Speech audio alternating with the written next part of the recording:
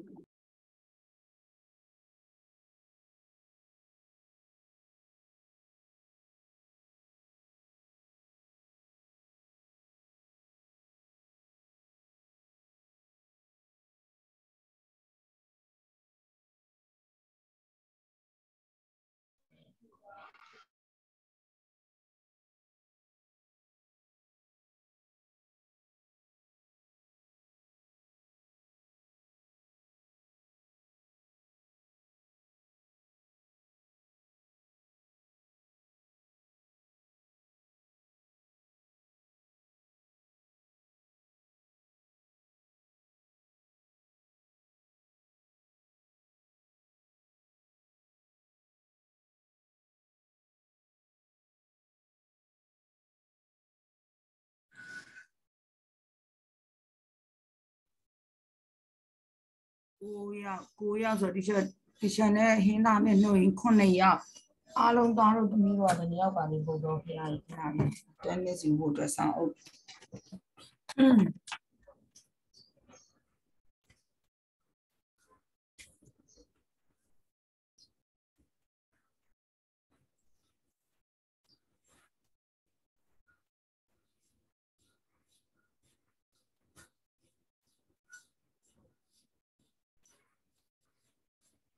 အလုံး12ယောက်ရှိတယ်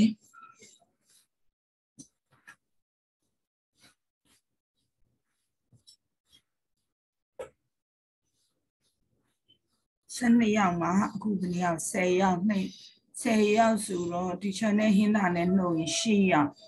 10ယောက်ဆိုတော့4ယောက်လိုသေးတယ်နော်ခဏလေးနော်9မိနစ်ထိစောင့်လိုက်မယ်နော်9မိနစ်မှမလာရင်တော့လည်းသိမယ်နော်ဟုတ်ကဲ့ပါရှင်အေးသမီးတို့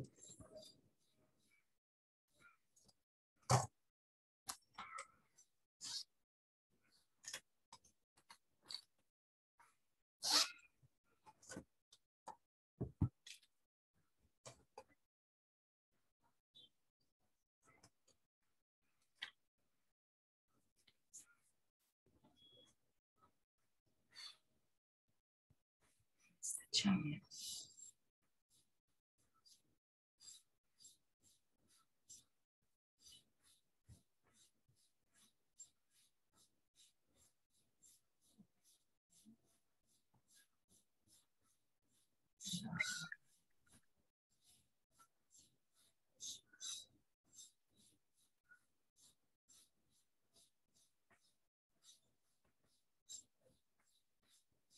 อืมတော်တော်တော့ရောက်ကုန်ပြီနော်10ရောက်ရောက်ပြီโอเคအဲ့ဆိုတော့စမယ်ဒါတို့သမီးတို့ခဏလေးဒီချက်တန်းနဲ့စင်းယူလိုက်မယ်ဟင်းချက်စင်ရှိတယ်ထိန်ထိန်ရှိတယ်အာကာမရောက်သေးဘူးလားအာကာမရောက်သေးဘူးကျဲစင်းလေးကျဲစင်းလေးလည်းမရောက်သေးဘူးနော်ကြည်စင်တန့်တွေ့တယ် မေတူတင် MH တွေ့တယ်မျက်စုမျက်စုကိုခုနတွေ့လိုက်ပါတယ်တွေ့ပြီနိုင်လင်းထွန်းတွေ့တယ်ဟန်နီဟန်နီတွေ့တယ်လဲတွေ့တယ်လဲလဲစုစုဆန်လည်းတွေ့လိုက်တယ်ခုနကစုဆန်ပဲနားရောက်နေစုဆန်ပျောက်သွားပြီ။အော်အကောင်ဝင်လာပြီရှိပါရဲ့ရှင်။ အော်အေးစုဆန်ရေးတမီးရေငါတမီးကိုတက်တက်ရေကိုမတွေ့ရင်ငါလည်းမပြောချင်တော့သူရောက်ဟုတ်ကဲ့အဲ့ဆိုရင်ကျဲစင်လေးတယောက်ပဲမရောက်သေးတာကျဲစင်လေးဟုတ်ပြီကျဲစင်လေးတယောက်ပဲမရောက်သေးဘူးเนาะကျန်တဲ့လူတွေအကုန်ရောက်ပြီကဲအဲ့ဆိုသားတို့တမီးတို့ဒီချာတို့စလိုက်ရအောင်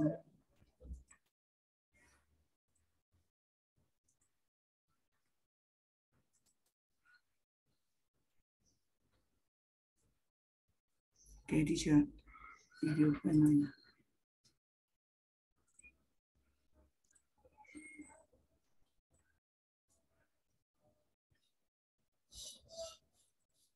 သားတို့သမီးတို့နေကောင်းကြလားအားလုံးဟုတ်တီချေကောင်းပါရဲ့အေးဟုတ်ပါပြီရှင်ကဲအခု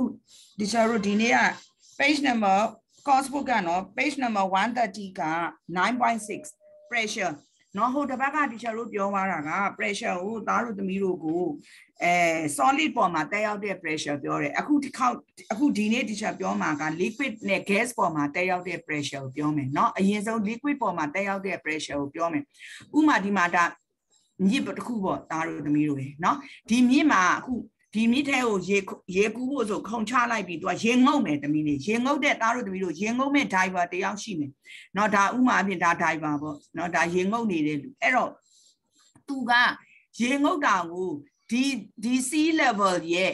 အောက်ကိုအောက်ကိုရောက်လေရောက်လေเนาะဘာဖြစ်လာမလဲဆိုရင်သူ့အပေါ်မှာတက်ရောက်မဲ့ pressure ရဲ့တန်ဖိုးဒီများလာလေလေပဲ เนาะ pressure ရဲ့တန်ဖိုးဒီဘာဖြစ်လာမလဲဆိုတော့ increase ဖြစ်လာမယ်ဘယ်အချိန်မှလဲဆိုလို့ရှိရင် teacher တို့ဘာလုပ်မလဲဆိုရင်ဒီမှာ depth က increase ဖြစ်လာတယ်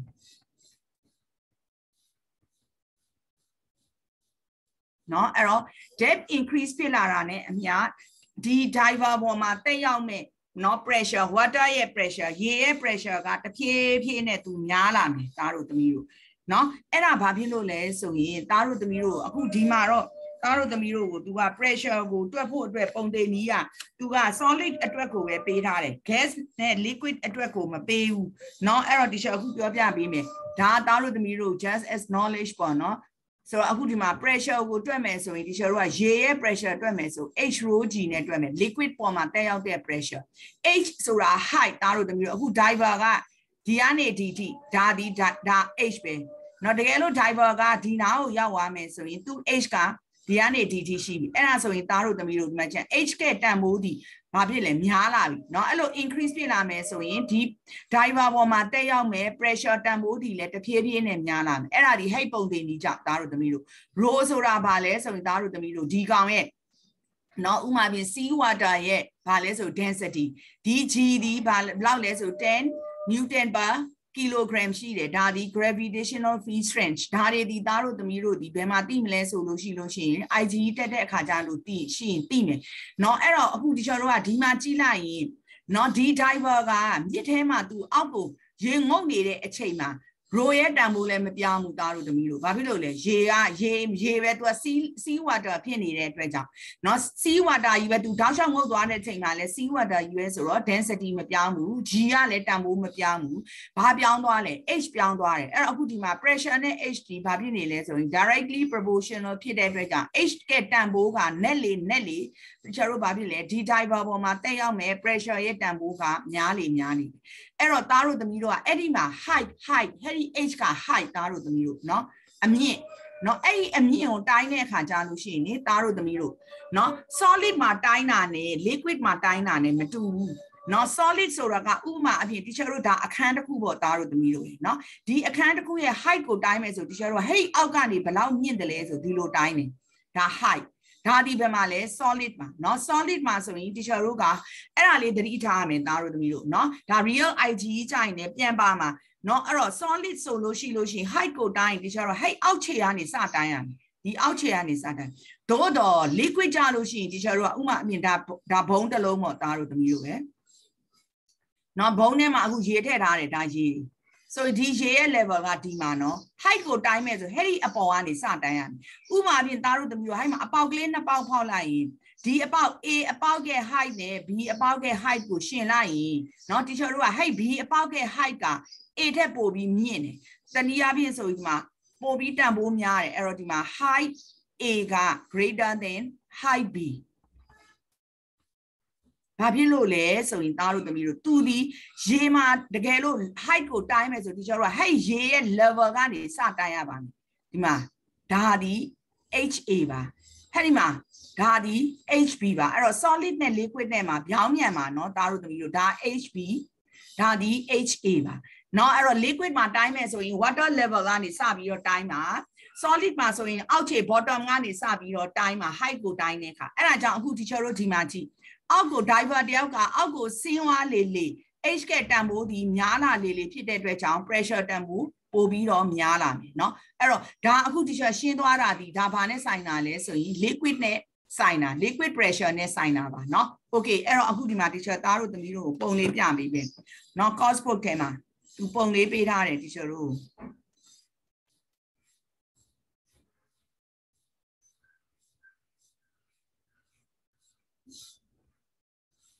အဲ့ပုံလေးကိုပြပြီးတော့သားတို့သမီးတို့တစ်ချက်ရှင်းပြပေးမယ်ဒီကောင်ငါဘယ်နဲ့ IG ကိုသွားလှန်နေတချို့ကလည်း IG မှမဟုတ်တာယူ pre IG ပဲဟာခဏလေး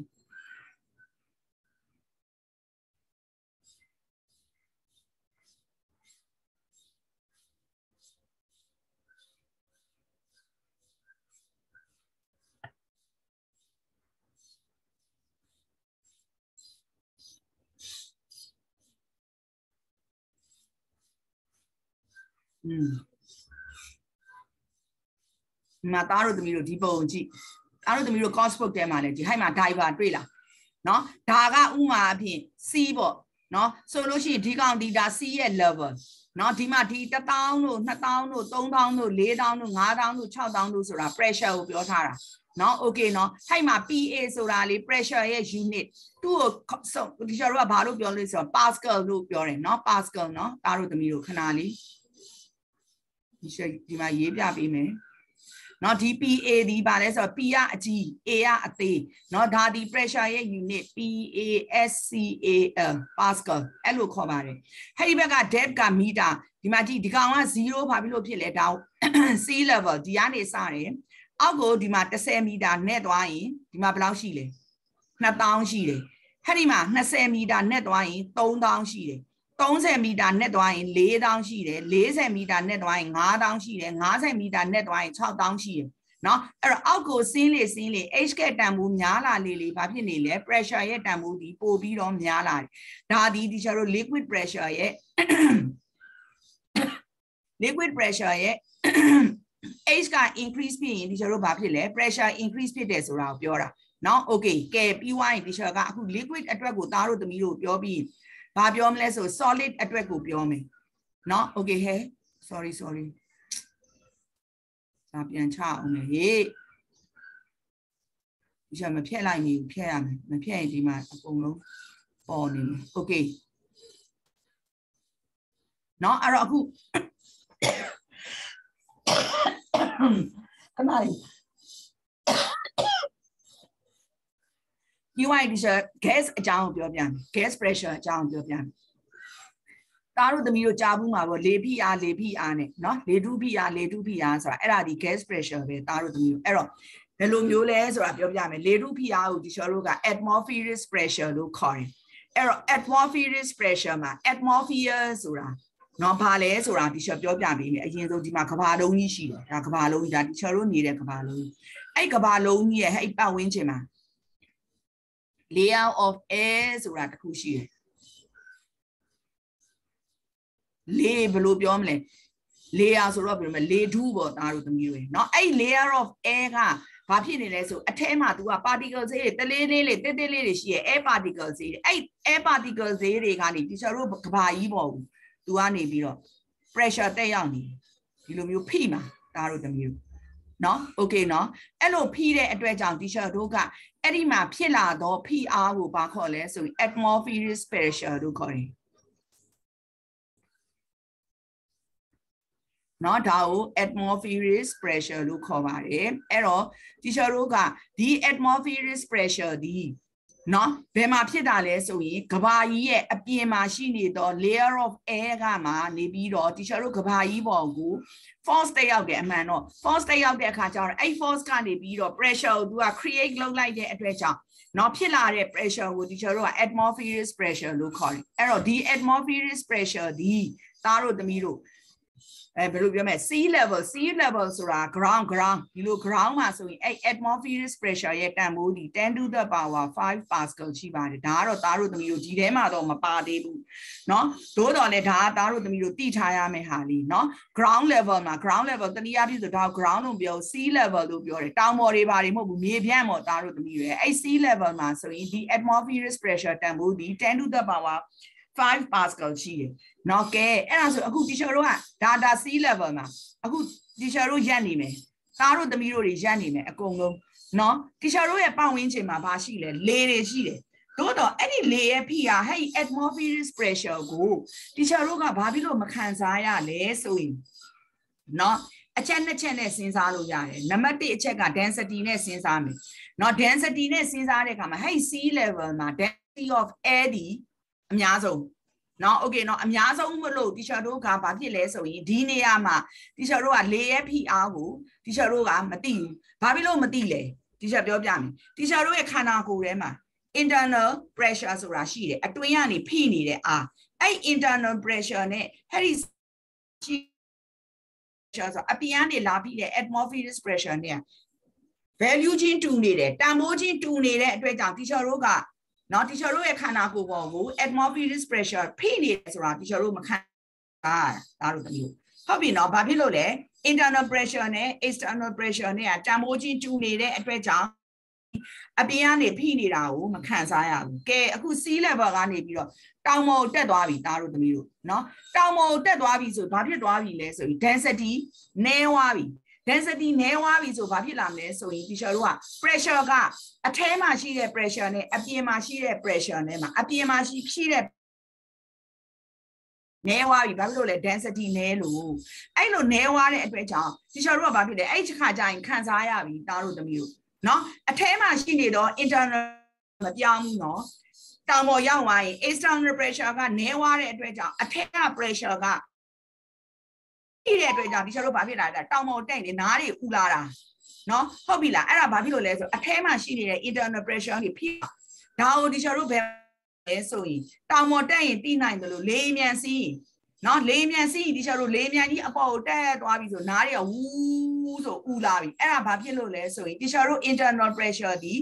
အပြ အပေါ်တက်သွားပြီဆိုလို့ရှိရင်ဘာဖြစ်လဲ air ရဲ့ density ကနည်းသွားတဲ့အတွက်ကြောင့် external pressure က decrease ဖြစ်ပြီးနည်းသွားပြီအဲ့တော့ external နဲ့ internal လဲမှာ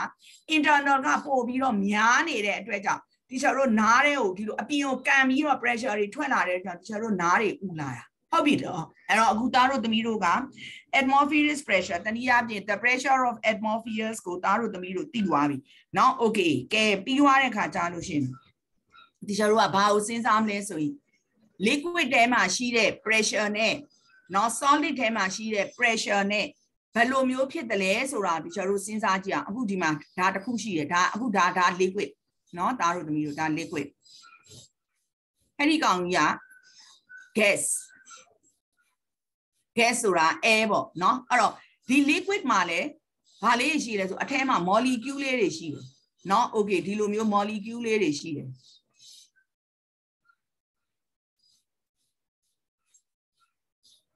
ဒီလို molecule လေးတွေရှိတယ်ဒီလိုပဲ gas မှာလည်း molecule တွေရှိတယ်เนาะဒီလိုမျိုးနဲအဲ့ဒီမှာသားတို့သမီးတို့ဒီနှစ်ခုကိုနှိုင်းယှဉ်ကြည့်စမ်း liquid က molecule တစ်ခုနဲ့တစ်ခုကြားမှာရှိတဲ့ hairy space နဲ့နော် gas တစ်ခုနဲ့တစ်ခု gas က molecule တစ်ခုနဲ့တစ်ခုနဲ့ကြားမှာရှိတဲ့ဟိုဟာ space ကိုသားတို့သမီးတို့နှိုင်းယှဉ်လိုက်တဲ့အခါကျလို့ရှိဒီကောင်ကနီးတယ်နော်ဒီကောင်ကဝေးတယ်နော် okay နော်အဲ့တော့အခုဒီမှာ liquid မှာရှိနေတဲ့ဟဲ့ molecule လေးတာသူတို့ကလည်း randomly သွားတယ်ဆိုတာကအစီအစဉ်တကြဟဲ့ तू ကတော့ရှေ့ရသွားလို့ငါကနောက်ကဒီလိုလိုက်မယ်ပြီးဒီလိုလေးတန်းစီပြီးသွားမယ်ဒါဒါဒါဒါဒီ not randomly နော် randomly ဆိုတာက तू ကဒီလိုသွားရင် तू ကဒီလိုသွားရင်သွားမယ် तू ကဒီလိုသွားမယ်နောက်တစ်ယောက်ကဒီနာဆင်းရင်ဆင်းမယ်နောက်တစ်ယောက်ကဒီလိုသွားမယ်အဲ့ဒါကို randomly လို့ခေါ်တယ်အဲ့လို randomly သွားနေတော့ဘာလုပ်မလဲဆိုရင် तू ကသားတို့သမီးတို့ရယ်တကောင်နဲ့တကောင်တိုက်တော့မှာ molecule တွေကဒီလိုတယောက်နဲ့တယောက်ဒီလိုတိုက်မယ် နော်သူကလည်းသူ့လာတိုက်ရင်တိုက်မယ်အဲ့ဒီမှာဒီလိုမျိုးအချင်းချင်းတိုက်တယ် colleague globe တို့လိုမျိုး collection လို့ခေါ်တယ်တိုက်တာအဲ့လိုတိုက်ချင်းတိုက်မယ်မဟုတ်လို့ရှိရင် तू ကဘာလုပ်မလဲဟဲ့နိုင်အောင်လာတိုက်မယ်နိုင်အောင်တိုက်ပြီး तू က bounce back ဒီလိုပြန်ထွက်လာမယ်နော်ဥမာဒီလိုထွက်လာမယ်ဒီကောင်ကလည်းဒီလိုတိုက်မယ်ပြီးဒီလိုပြန်ထွက်လာမယ်အဲ့လိုထွက်လာတဲ့အတွက်ကြောင့်အဲ့လိုဝင်တိုက်တဲ့အခါကျရင်ဘာလုပ်မလဲဆိုအဲ့ molecule လေးတွေက နော်အဲ့ဒီနိုင်ရန်ကိုခွက်ဥမာအဖြစ်ဒါရေထည့်ထားတဲ့ခွက်ဆိုခွက်ကနိုင်ရန်ကိုသူတို့ဝင်တိုက်တော့မှာပေါ့အဲ့လိုတိုက်ပြီဆိုသူတို့ကဘာလုပ်လဲ force တိုက်ရပြီအဲ့ force ကနေပြီးတော့ဘာ create လုပ်လိုက်တယ်ဆိုရင် pressure ကို create လုပ်လိုက်နော်အဲ့ဒါဆိုရင် teacher တို့ကဒီကောင်လေးတွေကအချင်းချင်းတိုက်ရင်တိုက်မတိုက်ရင်ဒီထည့်ထားတဲ့ container ရဲ့နိုင်ရန်ကိုဝင်တိုက်တဲ့အတွက်ကြောင့် pressure တွေပေါ်လာပြီအဲ့ pressure ကို teacher တို့က liquid pressure လို့ခေါ်တာပေါ့เนาะ okay เนาะ okay ဒါကို liquid pressure လို့ခေါ်တယ် နော်ဒီလိုပဲဒီမှာဆိုပိုဆိုးတယ်တစ်ကောင်နဲ့တစ်ကောင်ကအဝေးကြီးဒီကောင်တွေက gas မှာကြာရင် molecule တစ်ခုနဲ့တစ်ခုကအဝေးဒီကောင်တွေကလည်းဒီလိုပဲဒီလိုအချင်းချင်းတိုက်ရင်တိုက်မယ်နော်မဟုတ်လို့ရှိရင် तू ကဒီလိုနိုင်အောင်တိုက်မယ်ပြီးဒီလိုပြန်ကန်ထွက်လာမယ်ဒီလိုတိုက်မယ်ဒီလိုပြန်ကန်ထွက်လာမယ်ဒီကိုရောက်လာမယ်ဒီကောင်ကလည်းဒီလိုပဲဥမာအပြင်ဒီကိုဝင်တိုက်မယ်ပြီးဒီလိုပြန်ထွက်လာအဲ့လိုမျိုး तू လဲတိုက်တာပဲအဲ့လိုတိုက်ရင်လည်း तू ကဘာဖြစ်လဲ force ဖြစ်လာပြီအဲ့ force ကနေပြီးတော့ဘာဖြစ်သွားမလဲ create လုပ်တာ pressure ဖြစ်လာတယ် အဲ့ဒါဆိုရင် teacher တို့ကအဲ့ဒီ pressure ကိုဘာခေါ်လဲဆိုရင် gas pressure လို့ခေါ်တယ်เนาะ okay အဲ့တော့အဲ့ဒီမှာအခု teacher တို့က pressure နှစ်ခုကိုနော် compare လုပ်ကြည့်တဲ့အခါမှာ liquid gas pressure က gas gas pressure ထက်ပိုပြီးတော့များနေတယ်။ဘာဖြစ်လို့များလဲဆိုရင်အဲ့ဒီ liquid ထဲမှာရှိတဲ့ particles တွေကသူကတစ်ခုနဲ့တစ်ခုပို့ပြီးတော့ close together နီးနေတဲ့အတွက်ကြောင့် ဟဲ့ဒီကောင်တွေကတစ်ခုနဲ့တစ်ခု away ရှိတဲ့အတွက်ကြောင့်သူ့ရဲ့ gas pressure က gas မှာရှိသော pressure ဒီ liquid မှာရှိသော pressure တဲ့ပိုပြီးတော့နည်းပါတယ်နော်အဲ့တော့ pressure ဘာဖြစ်လို့ဖြစ်တယ်လဲဆိုရင် particle ဈေးတွေကအချင်းချင်း collection အချင်းချင်းတိုက်ရင်တိုက်မယ်မတိုက်ရင်ဘာဖြစ်လဲသူတို့ထည့်ထားတဲ့နော်ဒီ container ရဲ့နိုင်ငံကိုဝင်ပြီးတော့တိုက်မယ်အဲ့လိုတိုက်လိုက်တာနဲ့ဘာဖြစ်တာပြီလဲ force တက်ရောက်ပြီ အဲ့ဒီ force ကမှ create လုပ်လိုက်တယ်ဘာဖြစ်လာလဲ pressure ဖြစ်လာเนาะအဲ့တော့အဲ့ဒါကြောင့်ဖြစ်လာတော့ pressure ကို liquid ထဲမှာဖြစ်ရင် liquid pressure gas ထဲမှာရှိရင် gas pressure လို့ခေါ်မယ်အဲ့ဒီမှာနှစ်ခုကိုနှိုင်းယှဉ်လိုက်တဲ့အခါမှာ liquid gas pressure ဒီ gas pressure တဲ့ပို့ပြီးတော့များနေတယ်ဘာဖြစ်လို့များလဲ liquid ထဲမှာရှိတော့ particles တွေကတစ်ခုနဲ့တစ်ခုနီးတယ် gas ထဲမှာရှိနေတော့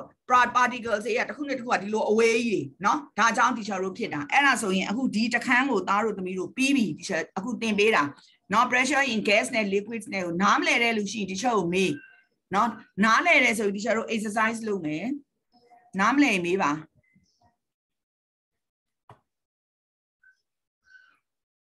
ဟုတ်နားတယ်ပါ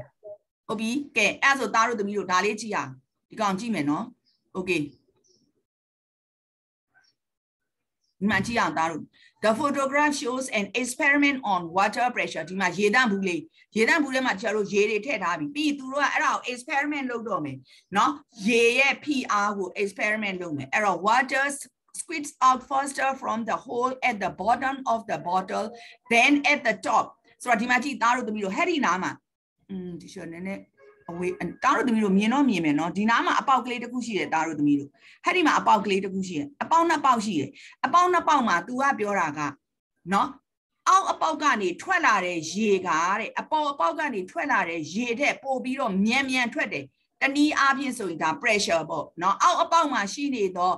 ရေရဲ့ pressure ရေကနေရေရဲ့ pressure ဒီဒီအပေါ်မှာရှိနေတော့ရေရဲ့ pressure တဲ့ပိုများတယ်တဲ့အဲ့ဒါကို तू ကဒီမှာ use the idea of pressure pressure ရဲ့ idea ကိုတုံးပြီးတော့ explain နဲ့ဘာဖြစ်လို့အဲ့လိုမျိုးထွက်တယ်လဲဆိုတာကို teacher တို့ကို explain လုပ်ခိုင်းတယ်เนาะအဲ့တော့ခုနကတော့ teacher ပြောတယ်တားတို့သမီးတို့ကိုเนาะ okay เนาะဒီကောင် height နှစ်ခုကိုစဉ်းစားကြည့်တယ်အောက်မှာရှိတဲ့အပေါက်ရဲ့ height နဲ့အပေါ်မှာရှိတဲ့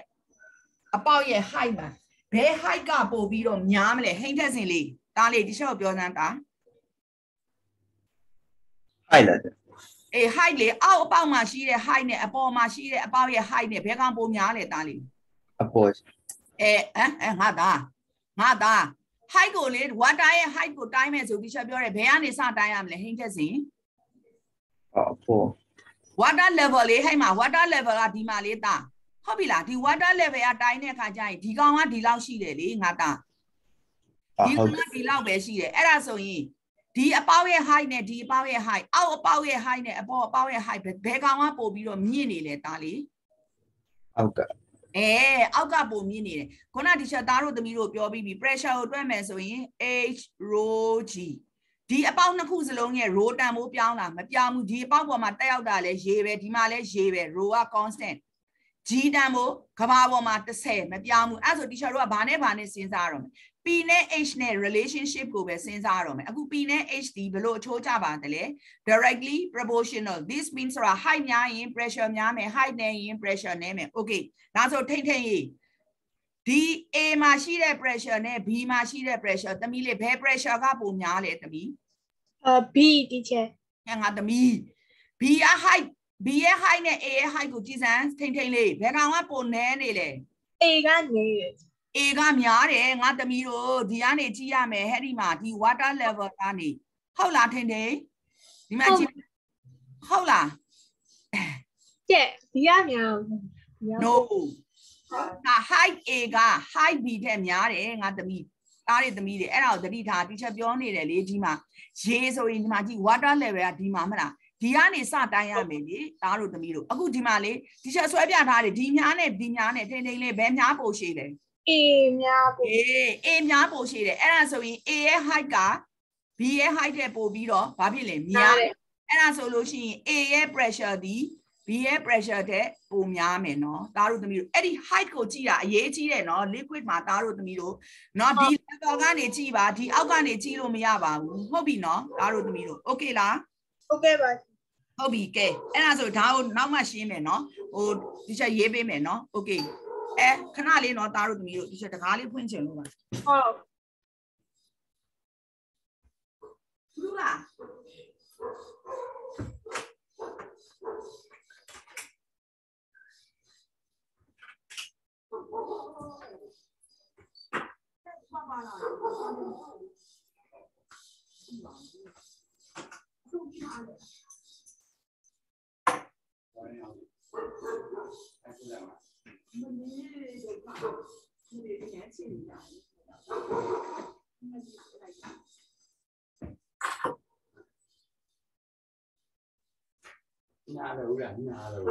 မလေးမနာမလို့မရှိကောင်းလိုက်တာ ငါတက်တာလေ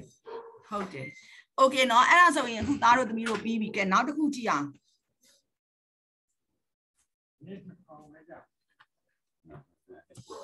ပြောနေတယ်ခဏလေးသားတို့သမီးတို့ဒီချက်ဒါလေးဖြည့်လိုက်အောင်မယ်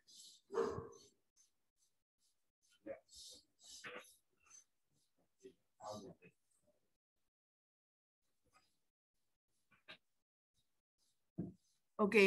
ကဲပြီးွားရင် teacher တို့နောက်တစ်ခုကြည့်မယ်เนาะဒါပြီးတော့ teacher ရေးပေးမယ်အာ sorry ဟိုး teacher လည်းဟိုအောင်မဖြစ်ရဘူးဒါကိုဖြစ်ရအောင်မဖြစ်ရင်အဲ့ဒါကြီးကဟိုပေါ်မှာပေါ်နေမှာ okay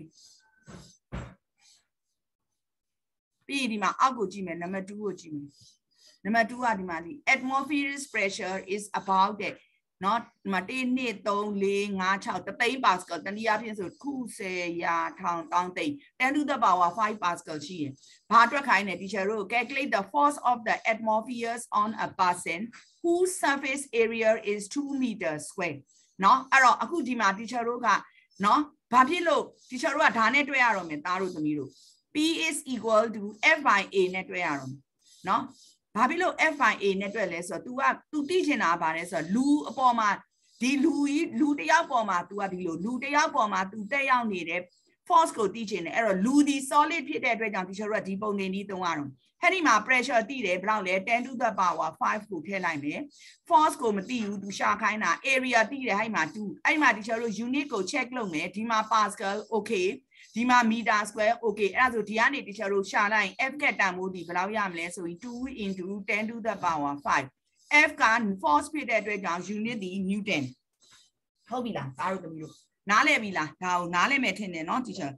အဲ့ဒါဆိုရင်အခုသားတို့သမီးတို့က1နဲ့2ပဲရှိတယ်ဒီမှာเนาะအဲ့ဒါဆို teacher ရေးပေးမယ်เนาะခဏလေးဒါလေးဖြတ်လိုက်အောင်မယ်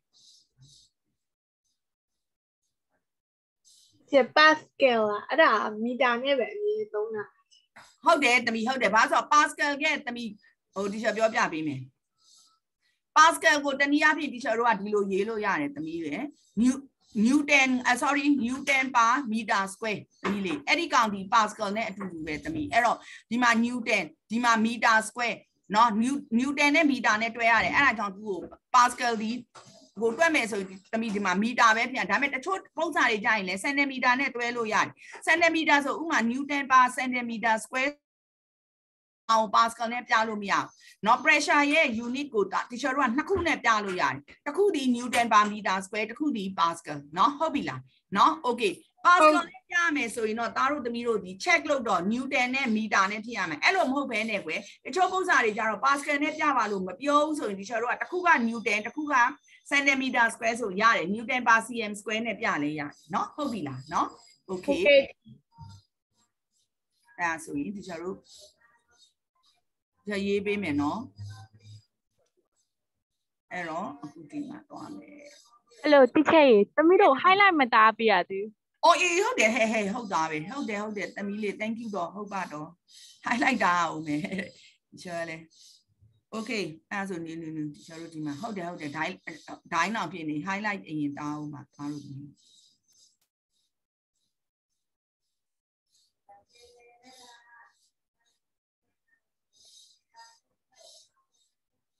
အဲ့ဒါတော့အကုန်တားဟုတ်တယ်ဟေးဒီစင်တန်လေးကျေးဇူးသမီးလေးသမီးလေးကတတိပေးတာ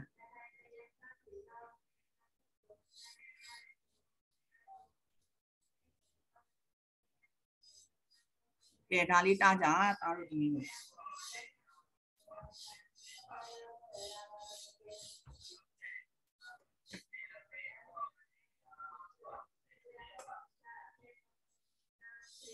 အဲတင်အဲဟိုကျဲစင်လေး။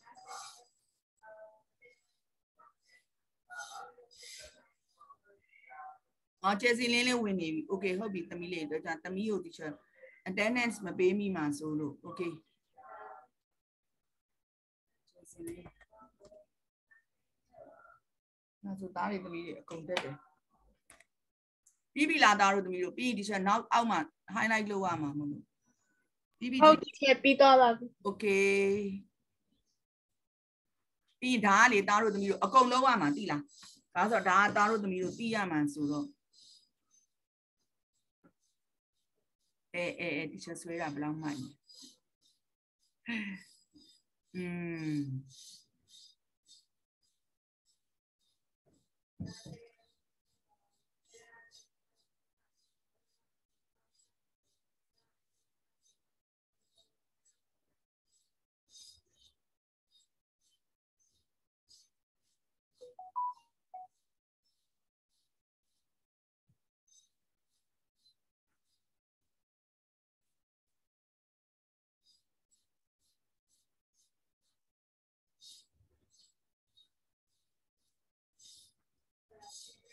Okay အဲ့ဒီကိုတာ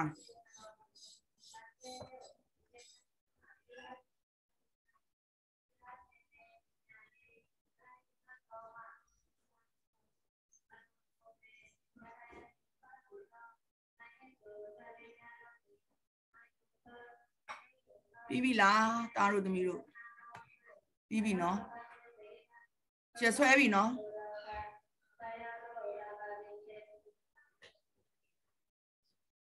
ပြီးဒီ၃ပိုက်စလုံးသားတို့တမျိုးဟဲ့ဒီ၃ပိုက်စလုံးဒါကခုနဘယ်လိုမျိုးဟို gas ထဲမှာဘယ်လိုလဲ liquid ထဲမှာဘယ်လိုလဲဆိုတာပြောပြတာဆိုတော့အဲ့ဒါလေ၃ပိုက်စလုံးတော့ဒါဒါတွေကအလွတ်ချက်စရာမလိုဘူးเนาะသားတို့တမျိုးတို့နားလေအောင်လေးဖတ်ယုံမယ်เนาะဟုတ်ပြီလား ဟုတ်ကဲ့ပါဒီချက် ဒေးပါရှင်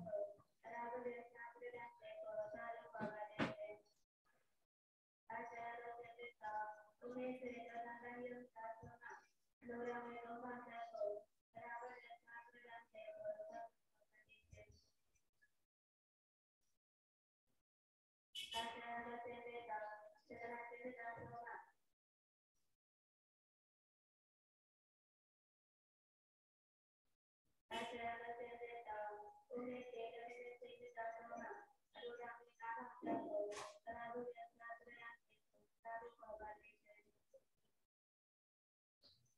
เ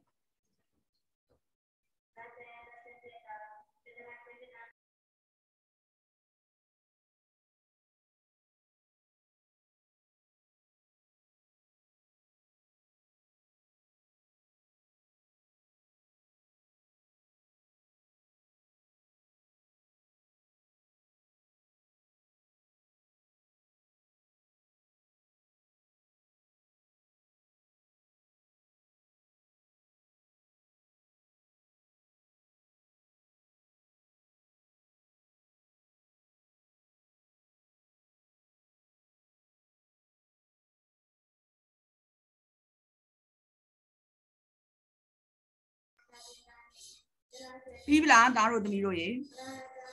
ဟုတ်ပြီပါပြီပြီးပြီနော်ပြီးပြီဆိုဒီချောဟိုဘက်ကိုရေးပေးတော့မှာမလို့အဲဒါဆိုဒီချောဟိုဘက်သွားလိုက်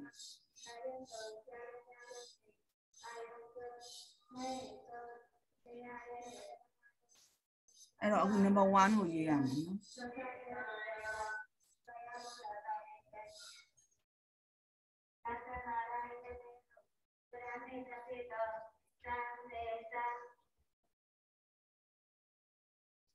ဒါဆရာကဆင်းနေတဲ့သဒ္ဒနာဆင်းတဲ့ဆောမှာအလိုရာငငါရတဲ့ကို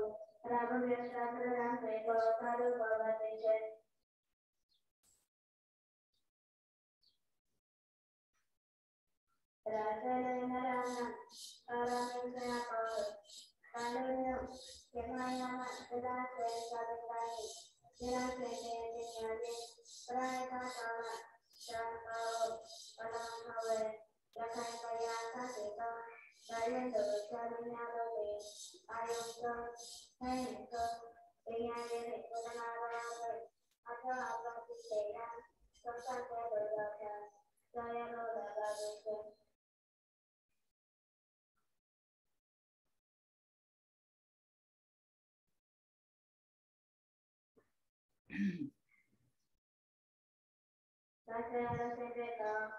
ဝတိချေရာဇလေနရဏအာရမေသ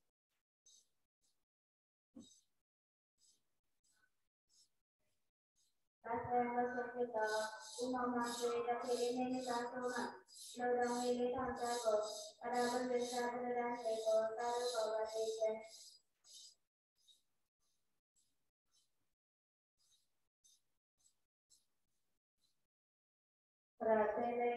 ေ ယကေမယမသဒ္ဒစေသာတတိုင်းသေရစေတေပညာတိပရာယတာသာသံဃာပ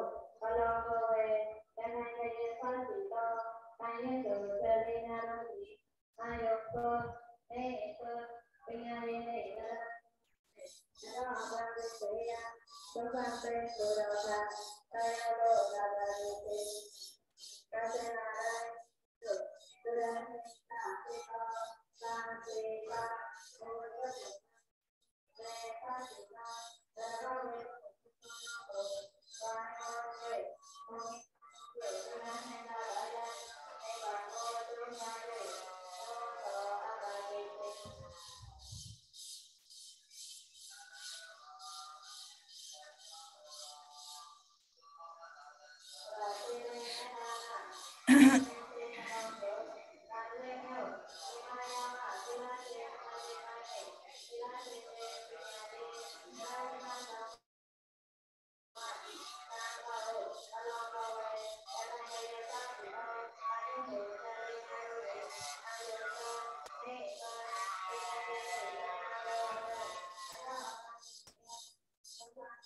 ဝေရခိုင်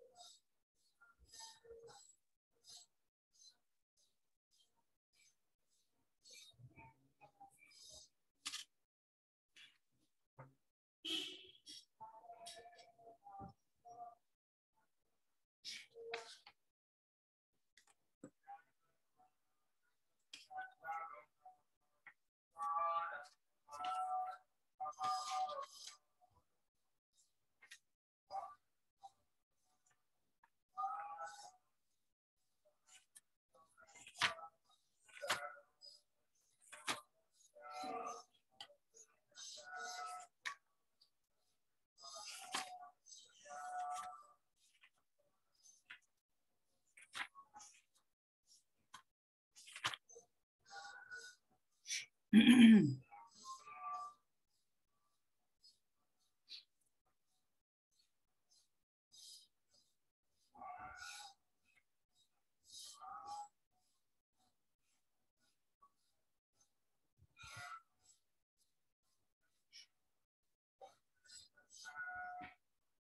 ီးပြီလားသားတို့သမီးတို့ရေချဲခုနနံပါတ်8ကလေဘအဲလို့သမီးလေ အပေါ်ကနေတိုင်းမလားအောက်ကနေတိုင်းဘယ်ဟာလဲသမီး liquid ကိုတိုင်းအဲဒီမှာသမီးအာသမီးဆွဲထားဟုတ်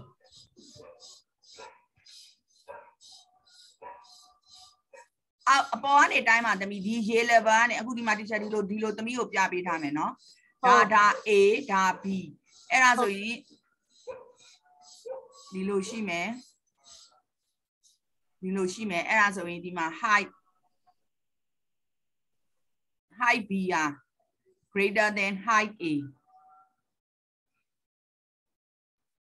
အဲ့ဒါဆိုရင်ဒီမှာ pressure B က greater than pressure A နော်သမီးဒါတွေဒါကြီးဒီအကုန်လုံးဒီဒီပေါ်မှာပဲ base လုပ်ပြီးတော့ရေးသွားတာသမီးတို့အကယ်၍များစာမေးပွဲမှာကွယ်ဒီ ဒီလိုမျိုးမရေးတတ်ဘူးဒီလိုမျိုးကြီးကိုရေးရတာသားတို့သမီးတို့ခက်တယ်ဆိုရင်ဒီပုံဆွဲဒီတိုင်းသာရေးပေးလိုက်ဒီချက်အမှတ်ပေးမယ်နော် IT ဆိုရင်တော့မရဘူးနော်ဒါ pre IT teacher ပါ teacher internal exam လို့နော်ဟို pre IT တကယ်လို့ IT ရောက်သွားပြီဆိုရင်တော့ဒီလိုမျိုးစာနဲ့ရေးရတော့မှာအကယ်၍သားတို့သမီးတို့အတွက်အခက်အခဲရှိတယ်ဆို number 1ကိုဒီပုံဆွဲဆွဲပြီး teacher ကိုဒီလိုရေးပေးလိုက်အဲ့ဒါဆို teacher အမှတ်ပေးမယ်ဟုတ်ပြီလားဟုတ်ကဲ့ချဲ okay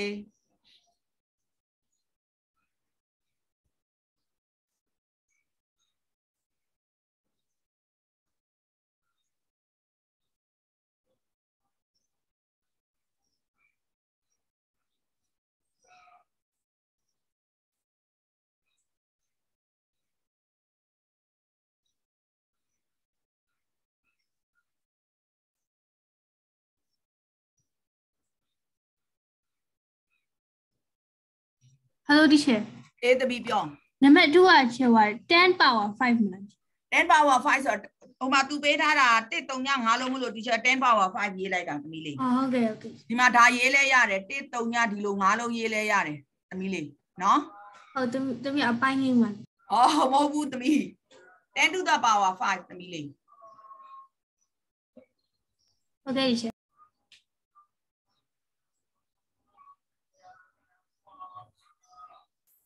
ပြီးပြီလားငါသားရဲ့သမီးလေး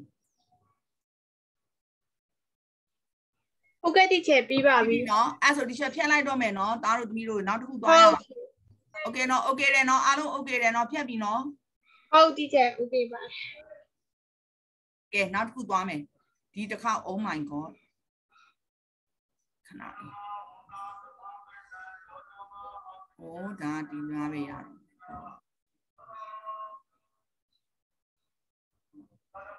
ကဲအခုနောက်တစ်ခုသွားတော့မယ်သားတို့သမီးတို့9.7ကိုသွား page number 132မှာအဲ့ဒါ tanning effect of a force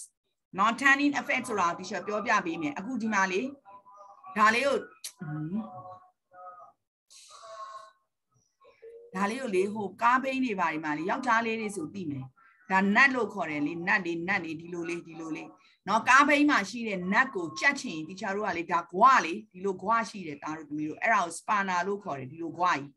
နော်ကဲအာကာကြီးအာကာကြီးငါတူကတော့ယောက်ျားလေးတွေမေးရတော့မှာပေါ့အာကာသားဒီမဲ့ကျန်ဒါနတ်နော်သားလေးအဲ့ဒါကိုဒီချာတို့ကဟက်ရီယန်နေကင်ပြီးတော့နော်ကြက်မယ်ဆိုရင်နော်โอเคဒီကောင်ကို tighten လုပ်ဖို့အတွက်ကြက်မယ်ဆိုရင်ဒီစပါနာကိုဒီချာတို့လှည့်ရတော့မှာပေါ့တန်းလုပ်တယ်သားလေးအပေါ်ကိုလှည့်မလားအောက်ကိုလှည့်မလားသားဘယ်လိုဘယ်လိုသဘောရလဲ ကိုအာကာအာကာရှိလား ဟုတ် အာကာ ဟုတ်ရှိတယ် သားလေးဒီလိုလှည့်ရင်လှည့်မလားဒီလိုအပေါ်ကိုဒီလိုလှည့်မလားသားလေး အောက်ကိုလှည့်မယ်လေ အေးအောက်ကိုလှည့်ပြီ okay ဒါဆိုเนาะ teacher တို့ကလှည့်ပြီဆိုကြတဲ့ teacher တို့ကဒါ force တက်ရောက်ရတော့မှာပေါ့အဲ့ဒါဆိုဒီ force က teacher တို့ကဒီလိုအောက်ကိုတက်ရောက်နေเนาะအဲ့တော့ဒီကောင်ကိုဒီ nut ကလေးကိုเนาะဒါ nut เนาะ ဒီ nut ကလေးကို teacher တို့ကကြက်ဖို့အတွက်ကိုဒီဒီ spanner ရဲ့ဟိတ်နေရာနေပြီးတော့ teacher တို့ကကင်ပြီးတော့လှည့်တော့ force ကအောက်ကိုတက်ရောက်နေအဲ့မှာဒီ nut ကလေးကကြက်သွားပြီအဲ့ဒါဆို teacher တို့ကဘာပြောမလဲဆိုအဲ့ဒီ force မှာနော်ဘာရှိမလဲဆို force has turning effect လို့ပြောတယ်နော် turning effect ရှိတယ်လို့ teacher တို့ပြောပါတယ်အဲ့ဒါနော် okay နော်ဟုတ်ပြီကဲအဲ့ဒါဆိုဟဲ့ဒီ F လေးရဲ့နော် F ကနေပြီးတော့ teacher တို့ create လုပ်လိုက်တဲ့ဟဲ့ turning effect ရဲ့ direction ကိုစဉ်းစားတဲ့အခါကျရင်တားတို့သမီးတို့ရေအခု teacher တို့ကအဲ့ဒါတွေကိုဘာနဲ့စဉ်းစားမလဲဆိုနာယီလက်တံအတိုင်းလဲသလားမဟုတ်ရင်နာယီလက်တံကိုစန့်ကျင်ပြီးလဲသလားဒါကိုစဉ်းစားရမယ်အခုဒီမှာဒါနာယီ teacher ဆွဲလိုက်ပြီဒီမှာ7နှစ်ဒီမှာ6ဒီမှာ9ဒီမှာ3နာယီလက်တံကဒီတိုင်းသွားတယ်ဟုတ်လားဒီလိုတောက်တောက်တောက်ဆိုဒီလိုလှဲ့တယ် နော်အဲ့ဒါကို teacher အခု teacher ဆွဲလိုက်တဲ့ဟာလေကျက်စင်လေးတွေမှန်သားရင် teacher ဆွဲတာဒီလိုမျိုးလှဲ့တာနာယီလက်တံဒီလိုဒီလိုလဲတယ်ဆိုတာမှန်သလားသမီးလေး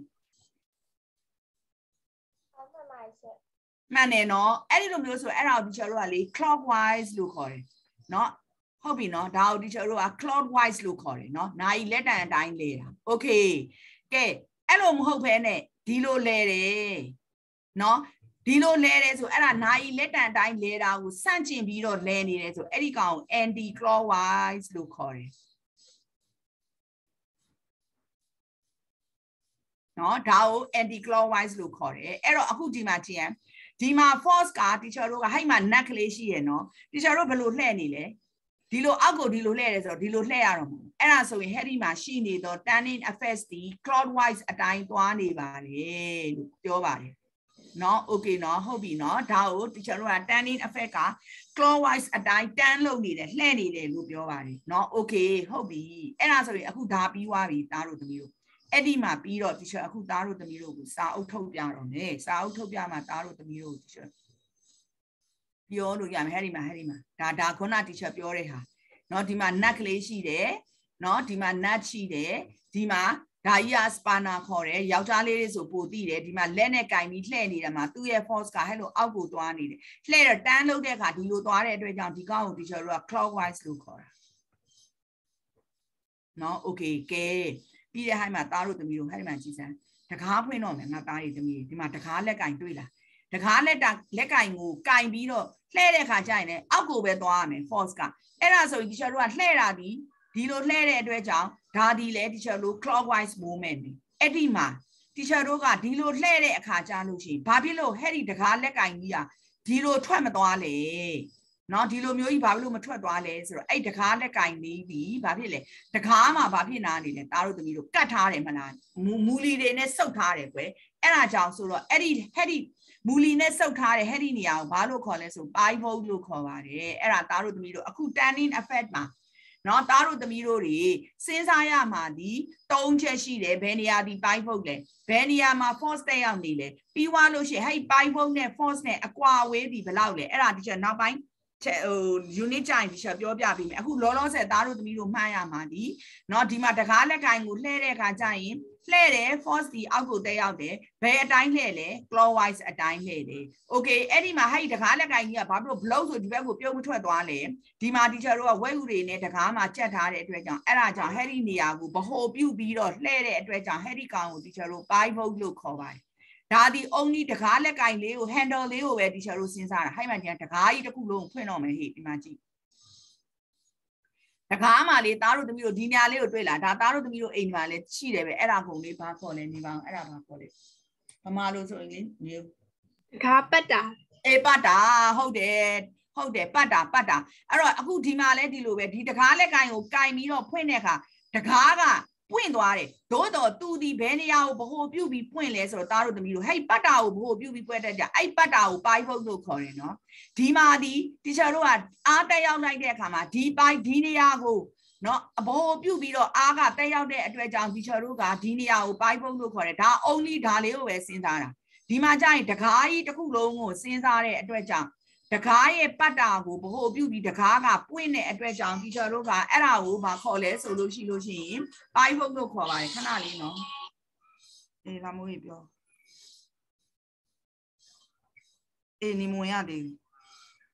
အဲ့တော့နေဘယ်လိုလုပ်မလဲပြတ်အေးအေးပြီးရောမမလဲသေးဘူးအေးအေးအေးအေးဟုတ်တယ်ဟုတ်တယ်အေးအေးဟုတ်ပြီဟုတ်ပြီ okay okay အေး ဘာမှမဖြစ်ဘူးဆရာဝန်တွေ round နေလို့ဝင်လို့မရလို့ဆက်တစ်ကြော်မှဝင်လို့ရမယ်ဆိုတော့နှာမိုးလည်းမစောင့်တော့ဘူးလေသူအဲ့အထုပ်ကိုဟိုအောင်ပေးပြီးတော့ပဲဟိုဟာလုံးလိုက်တော့โอเคเนาะဟုတ်ပြီเนาะဒါဆိုလို့ရှိရင်အခုတီချာတို့ဒါဆိုသားတို့သမီးတို့တီးပြီเนาะ pi ဖုတ်တီးပြီပြီးွားတဲ့ခါကြားလို့ရှိလို့ရှိရင် force ကိုဘယ်နေရာတက်ရောက်လဲဆိုတာတီးပြီဒီမှာလည်းဒီလိုပဲဒါကိုဒီလိုလှဲ့တဲ့အတွက်ကြောင့်တီချာတို့ကဒီကောင်ဒီလဲ clockwise ပဲ နော်ဟုတ်ပြီနော်โอเคဒါဆိုသားတို့သမီးတို့ဒါကိုသိပြီကဲပြီးွားတဲ့ခါနောက်တစ်ခုပြောပြတော့မယ်ဒီချာတို့ balance တွေလေဒီမှာ balance တွေဒါကိုဒီချာတို့ balance လို့ခေါ်တယ်ဒီကောင်ဒီကောင်အဲ့ဒီကောင်က balance နော်ဒါကြီးတစ်ခုလုံးကိုသားတို့သမီးတို့အဲ့ balance မှာသူကပို့ဒီမှာအခုခွက်နှစ်ခုပါမယ်သားတို့သမီးတို့နော်โอเคနော်အဲ့ဒီမှာအဲ့ဒီအလဲတဲတဲ့ဒီအဲ့ဒါ pi ဖို့နော်အခုဒီအခြေအနေမှာသားတို့သမီးတို့ဒီ ဟိုဟာကြီးကဒီချိန်ခွင်ကြီးက balance ဖြစ်နေတယ်လို့မခေါ်ဘူးเนาะ okay เนาะဟုတ်ပြီလားဘာလို့တစ်ဖက်ကိုနည်းနည်းစောင်းပြီအဲ့တော့ teacher တို့ကဘာလုပ်မလဲဆိုဒီခွက်နှစ်ခုမှာအရင်ဆုံးပန်းတီးရဲ့เนาะ teacher တို့ကဘလောက်လေးတယ်လဲဆိုတာကိုသိချင်တဲ့အတွက်ကြောင့်เนาะဒီခွက်ထဲကို teacher တို့ပန်းတီးထည့်လိုက်တယ်ထည့်လိုက်တယ်ဆိုရင်ဒီအလေးကိုမထည့်သေးဘူး teacher တို့အရင်ဆုံးဒီမှာ data balance တာဒီမှာ pi ဖုတ်ကြည့်တယ်เนาะ teacher တို့ကဒီပေါ်ကိုပန်းတီးတွေတင်လိုက်မယ် အဲ့ဒါဆိုရင်ဒီချာတို့ကဘာလုပ်မလဲဆိုဟိတ်ကောင်ကဒီလိုကျသွားလိမ့်မယ်ဒါတို့သမီးတို့ဒီပုံစံဖြစ်သွားလိမ့်မယ်ဒီပုံစံဖြစ်သွားလိမ့်မယ်เนาะဒီမှာပန်းတီးကဒီလိုမျိုးဒီလိုကျသွားမယ်အဲ့လိုကျသွားတယ်ဆိုတဲ့အခါမှာကြာလို့ရှိရင်ဒီကောင်လေးကဒီလိုညာဘက်ကိုစောင်းသွားတယ်ဆိုအဲ့ဒီမှာကြည့် weight of apple 10 scales မှာတော့ clockwise ဒီမှာသိလားဒီလိုမျိုးသွားတယ်เนาะဒီလိုသွားတယ်အဲ့တော့ဒီ position ကနေပြီးတော့ဒီချာတို့ကဒီ position ကိုပြန်ရောက်ချင် ဒီပေါ်မှာဘာလုပ်ရမလဲဆိုတော့ weight တုံးလေးတွေထည့်မယ်ဒီမှာ weight တုံးလေးတွေထည့်လိုက်မယ်ဥမာတဒုံးထည့်တယ်မရောက်သေးဘူးနောက်တဒုံးထည့်တယ်ရောက်သွားပြီဆိုရင်ဒီကောင်ကဘယ်လိုဖြစ်သွားမလဲဆိုရင်ဒီပုံစံဖြစ်သွားမယ်ဒါတို့သမီးတို့အဲ့ဒါဆိုရင် teacher တို့က heavy chain ဝင်ကြီးက balance ဖြစ်နေတယ်လို့ခေါ်တယ်နော် okay နော်ကဲဒီလိုမဟုတ်ဘဲနဲ့ teacher တို့က ဒီအတုံးကိုထဲတဲ့အခါကြာလို့ရှိရင်တဒုံးမကပဲနဲ့ဒီမှာပန်းတီးရဒီမှာဥမာတစ်လုံးပဲရှိနေသားတို့သမီးတယ်ဒီဘက်မှာဒီချက်တို့ကသုံးတုံးထဲလိုက်မယ်ဒီလိုသုံးတုံးဒီလိုသုံးတုံးထဲလိုက်ရင်ဒီကောင်ဒီဘယ်လိုဖြစ်သွားမလဲဆိုဒီလိုဖြစ်သွားမယ်ဒီကောင်ကအပေါ်တက်သွားမယ်ပန်းတီးရ weight တုံးတွေကဒီလိုအောက်ကိုကျသွားမယ်အဲ့ဒါဆိုရင်ဒီချက်တို့က height balance ကြီးကို နော်ဒီ weight တုံးတွေကနေ anti clockwise ဖြစ်အောင်လှည့်ချလိုက်ပြီဒီမှာဒါ anti clockwise နော်ခုနဒီချက်ဒီမှာဟိုကတော့ပြတယ်ဒီဘက်ကိုဒီလိုနိုင်လက်တန်လေးအတိုင်းဒီလိုလဲရင်ဒါ clockwise ဒီဘက်ကိုလဲရင် anti clockwise အခုဒီကောင်ဆိုရင်ဒါ weight တုံးတွေဒီဘာဖြစ်လဲဒါကို anti clockwise အတိုင်းသူတို့လှည့်ချလိုက်တယ်လို့ခေါ်ပြီနော်အဲ့တော့သားတို့သမီးတို့ကဒါကိုကြည့်ပြီးတော့ဘာခွဲတတ်ပြီလဲဆိုရင် clockwise နဲ့ anti clockwise ဒီမှာပန်းတီးထည့်မယ် နော်ပန်းတီးထည့်လိုက်ရင်ဒီဘက်ကို weight တုံးမထည့်တော့ဆိုရင်ဒီပုံစံဖြစ်မယ်အဲ့ဒီမှာဒီလိုပြန်ဖြစ်ချင်လို့ weight တုံးလေးတွေတင်လိုက်လို့ weight တုံးနှစ်တုံးတင်တဲ့အချိန်မှာဒီလို balance ဖြစ်သွားပြီနော်အဲ့ဒီမှာအခုဒီချာတော့ weight တုံးမတင်လို့ဒီမှာပန်းတီးကအောက်ကိုဒီလိုနှိမ့်ဆင်းသွားတယ်ဆိုတာ clockwise ကဲ weight တုံးကိုတော့တင်တယ်ဆိုတော့ weight တုံးကိုအများကြီးတင်လိုက်ဒီက balance ကဒီလိုဖြစ်သွားမယ်အဲ့ဒါဆိုရင်ဒီကောင်ကိုဘာခေါ်လဲ anti clockwise ခေါ်တယ်နော်ဟုတ်ပြီလားအဲ့တော့သားတို့သမီးတို့နားလည်လားအခုဒီချက်ရှင်းပြပေးသွားတာ နားလဲပါတယ်တီချာ ဟုတ်ပြီကြံတဲ့လူတွေရောသားတို့သမီးတို့ နားလဲပါတယ် နားလဲတယ်နော်โอเคဒါဆိုရင် teacher တို့အခု highlight လုပ်အောင်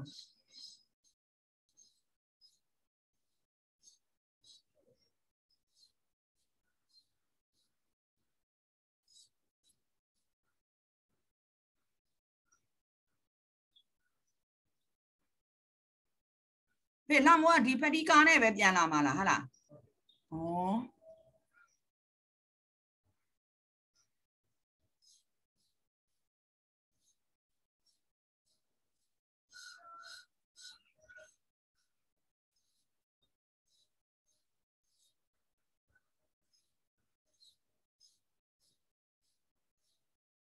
โอเคဟုတ်ပြီကဲအဲ့ဆိုဒီချာတို့ highlight လုပ်အောင်မနေ့ဒီမှာလည်းဖြည့်အောင်မယ်ဆိုတော့မဖြည့်တော့ဘူးထားလိုက်တယ်ရှုပ်တယ်ဒီမှာဒါ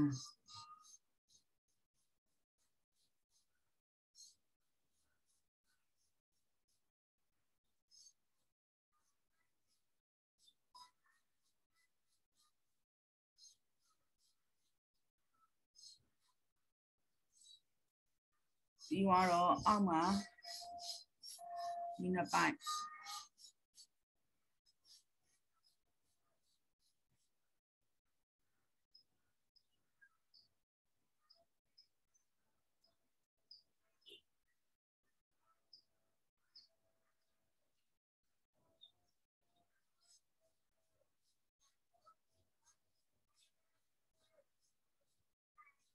Okay. ။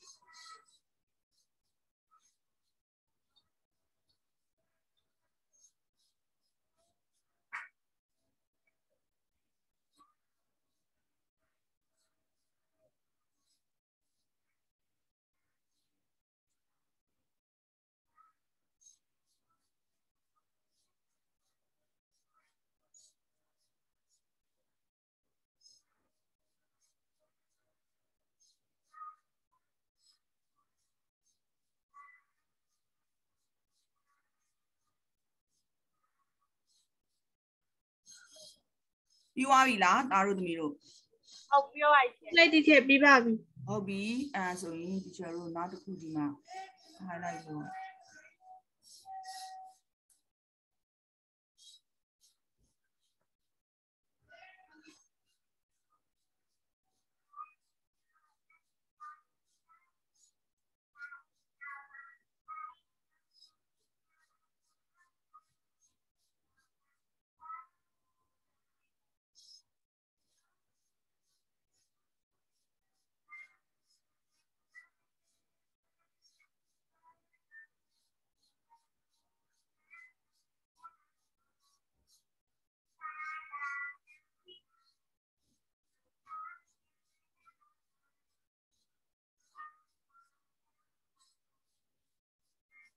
Okay. ။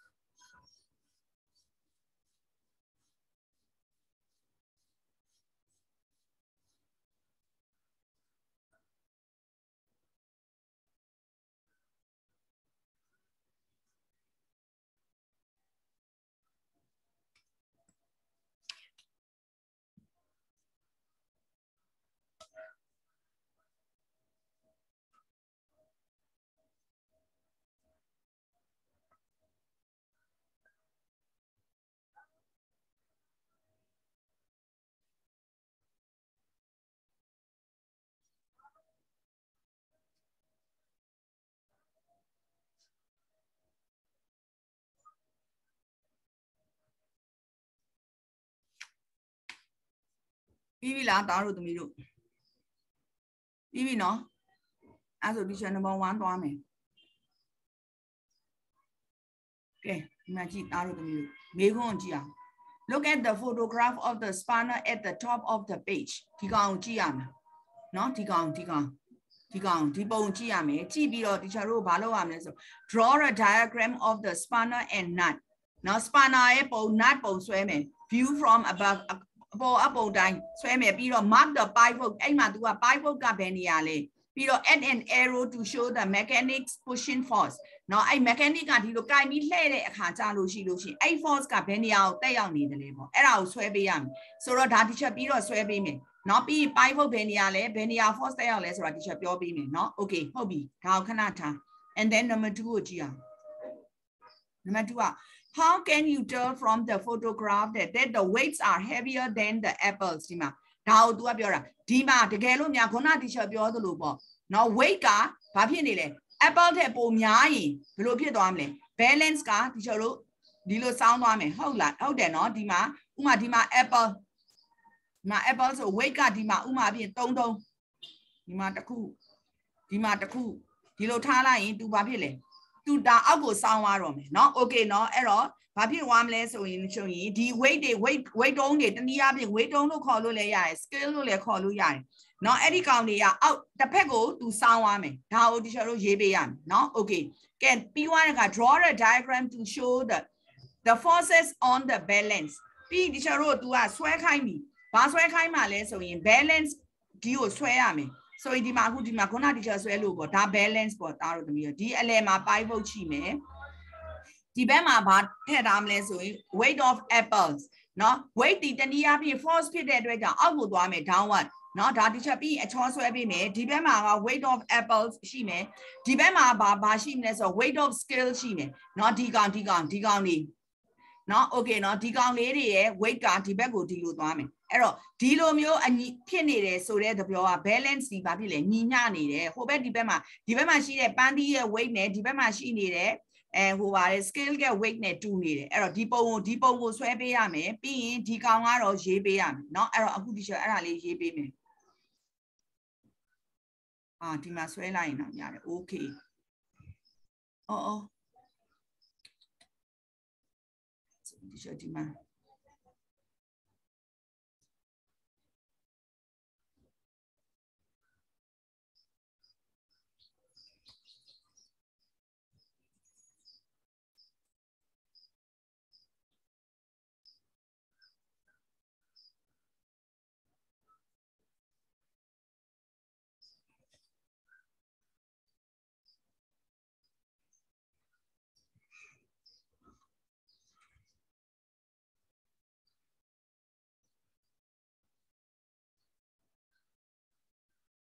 အဲ့တော့ဒီကောင်က number 1ဒီပုံလေးပဲဆွဲအားတို့သမီးတို့အဲ့ဒီမှာဓာတ်ကိုဗဟိုပြုတ်ပြီးတော့เนาะလှဲ့တဲ့အတွက်ကြောင့်ဟဲ့ဒီကောင်ဒီပိုက်ပုတ်ဒါဒီပိုက်ပုတ်ဒီမှာ mechanic ကဒီကနေကင်ပြီးအောက်ကိုလှည့်မယ်အတွက်ကြောင့်ဒီမှာ force အောက်ကိုသွားနေတယ်เนาะဒါလေးရေးရုံနဲ့ and then number 2ရေးပေးမယ်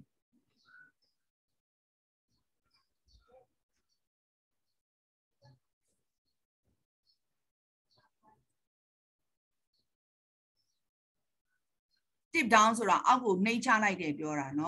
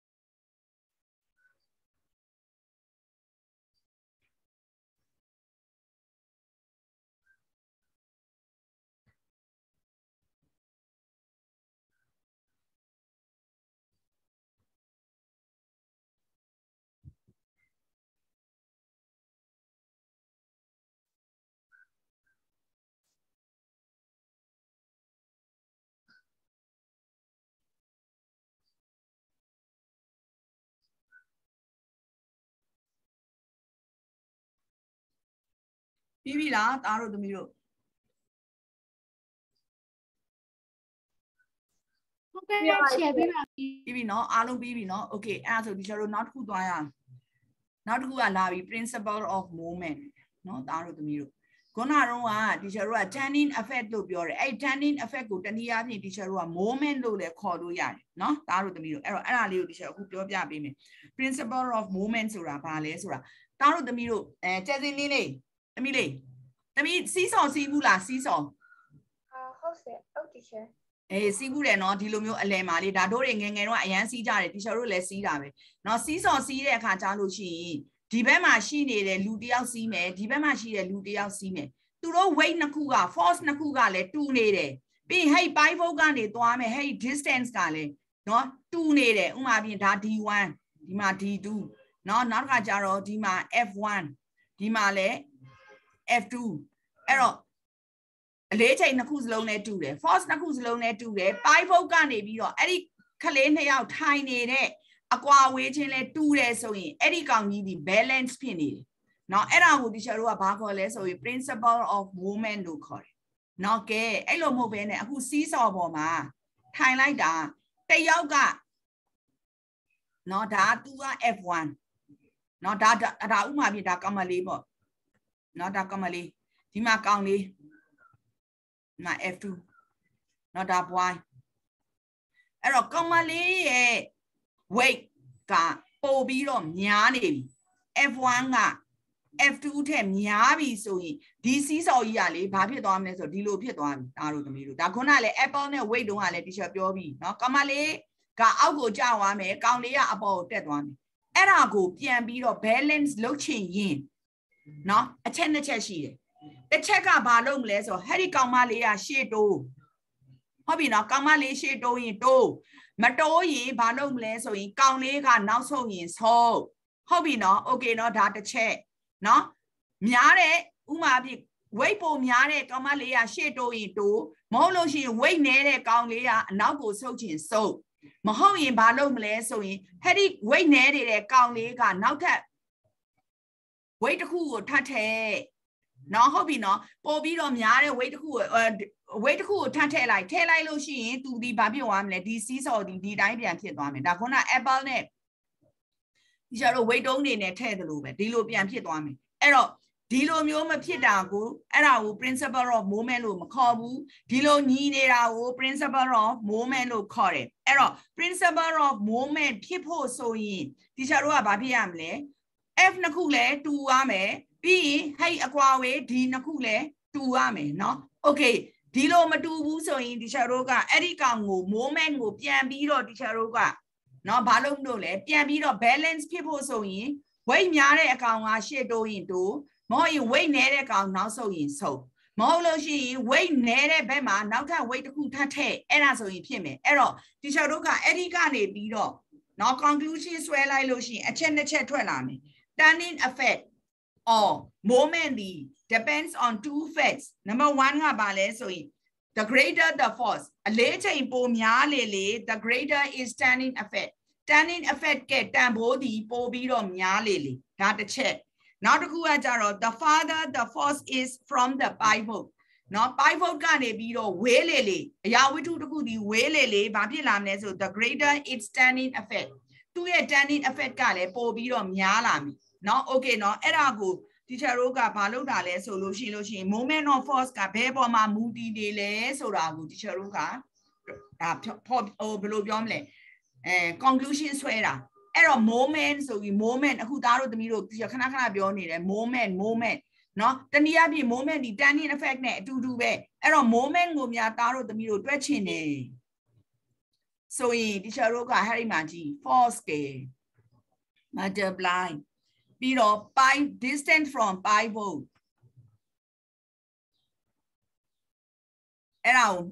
ပြောက်လိုက်ရင် teacher တို့ကအဲ့ဒါဘာရလဲဆိုရင် moment ကိုရပါတယ်အဲ့တော့ unit ကိုစဉ်းစားရအောင် force က unit ဒီပါလေ newton distance ရဲ့ unit ဒီ meter အဲ့ဒါကြောင့်ဟဲ့ဒီ moment ရဲ့ SI unit ဒီဘာပါလဲဆိုရင် newton meter ပါသားတို့သမီးတို့နော် okay နော်ဒါဒီ SI unit ကဲ sorry moment ရဲ့ SI unit ပါ Newton meter ပါနော် okay ကဲအဲ့ဒီကနေအခု teacher ခုနပြောပြီနော်စီးစော်မှာစီးတဲ့အခါကြားလို့ရှိရင်ဒီစီးစော်ကြီး balance ဖြစ်နေတယ်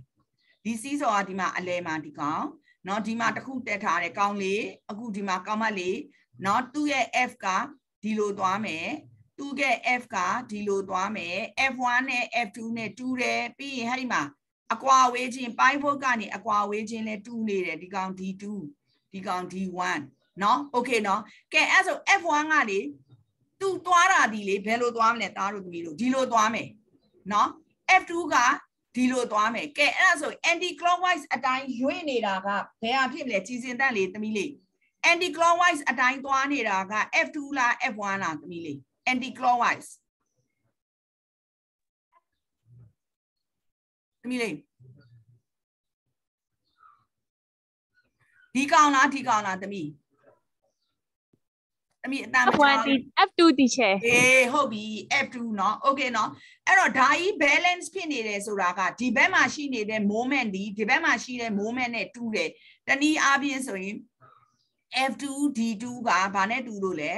F1 D1 နဲ့တူလို့ဒါ moment ဒါ moment okay เนาะ F2 D2 ဒီ F1 D1 နဲ့တူတဲ့အတွက်ကြောင့်ဒီကောင် balance ဖြစ်နေတာအဲ့တော့ F2 D2 ဒီဘယ်တိုင်းသွားနေလဲ anti clockwise တိုင်းသွားနေတဲ့အတွက်ကြောင့်သူ့ကိုဒီချာတို့ကဘာခေါ်လဲဆိုရင် anti clockwise movement လို့ခေါ်ပါတယ်เนาะဒါဒီ anti clockwise movement မှာ okay ဒီဘက်ဒီဘာလဲဆိုရင် clockwise အတိုင်းသွားနေတဲ့အတွက်ကြောင့်ဒါဒီ clockwise movement မှာအဲ့တော့ clockwise movement နဲ့ anti clockwise movement နဲ့တူနေတယ်ဆိုရင်အဲ့ဒီစီးစော်ကြီးอ่ะဘာဖြစ်လဲ balance ဖြစ်နေပါမယ်အဲ့ဒီကောင်ကို teacher တို့ကဘာခေါ်လဲဆိုရင် principle of movement လို့ခေါ်ပါတယ်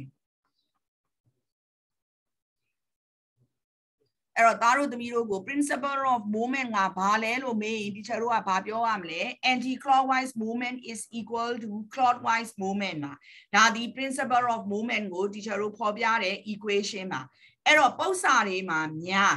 အကယ်၍သားတို့သမီးတို့ကိုစီးစော်ကြီးอ่ะပဲဖြစ်ဖြစ်เนาะ ဒုတ်ချောင်းတစ်ချောင်းอ่ะပဲဖြစ်ဖြစ် balance ဖြစ်နေတယ်လို့ပါပြီးဆိုရင်သားတို့သမီးတို့ဟဲ့ဒီပုံသေးနီးကိုသုံးလို့ရပါပြီအဲ့ဒါဒီ IG မှာလည်းဒါကိုပဲပြန်ပြီးတော့ apply လုပ်မှာပါเนาะ okay เนาะအဲ့တော့အဲ့ဒီမှာ anti clockwise movement ဆိုရင် teacher တို့ကဒီဘက်မှာ F2 နဲ့ D2 နဲ့မျှောင်းရပါမယ် clockwise movement ဆိုရင် F1 နဲ့ D1 နဲ့မျှောင်းရမယ်အဲ့ဒီကနေသားတို့သမီးတို့ anyway ပေါ့တစ်ခုခုကိုမေးမှာပေါ့ F2 မေးရင်မေးမယ် D2 မေးရင်မေးမယ် မဟုတ်ရင် F1 မေးရင်မေးမယ် D1 မေးရင်မေးမယ်အခုဒီလေးခုမှာကွာလေးခုမှာ तू ကအနှုံးတစ်ခုထားထားမယ်မတိတာတစ်ခုထားထားမယ်သုံးခုကိုသားတို့သမီးတို့ပေးထားမယ်ပြီးရင်ဘာဖြစ်နေမလဲဒီ seesaw ဒီ balance အဲ့လိုမျိုးပြောပြီးဆိုသားတို့သမီးတို့တွေဟဲ့ဒီပုံတင်ကြီးကိုတုံးပြီးတော့ teacher တို့တွက်လို့ရပါပြီနားလဲလားနားမလဲရင် teacher ကိုမေးပါဟုတ်နားလည်ပါပြီနားလဲတယ်နော်ပြန်ရှင်းပေးမယ်နားမလဲဘူးဆိုရင်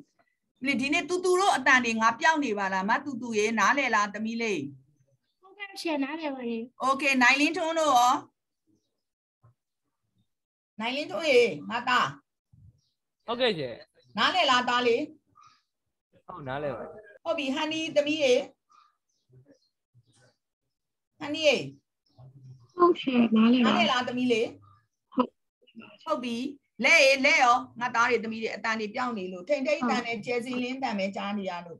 ကျဲစီလင်းမဟုတ်ကြည်စင်တဲ့အတန်ပဲကြားနေရလို့ စူဆန်ရောစူဆန်သမီးလေး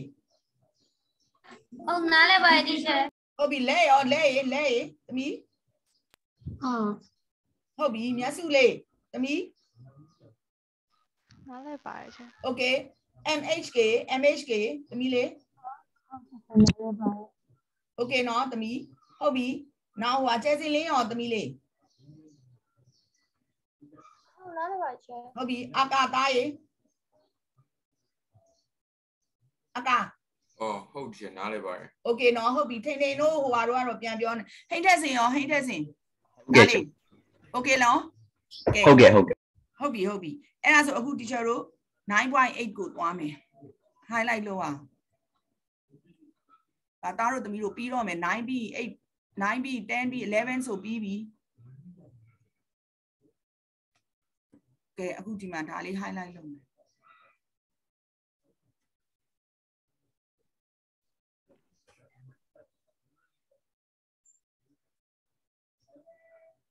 halfway along the beam ဆိုတာဟိုင်းမှာကြည့်အလဲတဲထဲမှာရှိတာကိုပြောတာเนาะ okay เนาะဒါတွေကနားလည်အောင်ဖတ်ဖို့เนาะ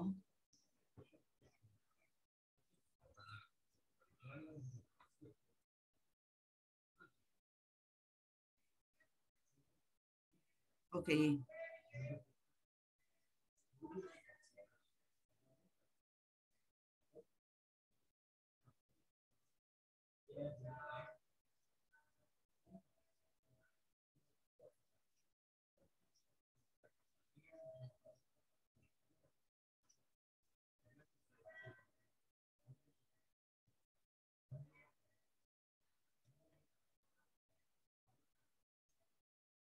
ပြီးပြီလားသားတို့သမီးတို့ပြီးပြီဆိုရင်ဒီချက်တစ်ချက်ဆွဲမယ်။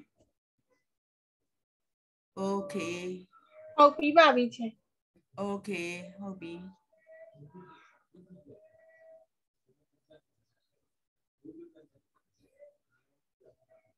နာနောက်တစ်ခုထား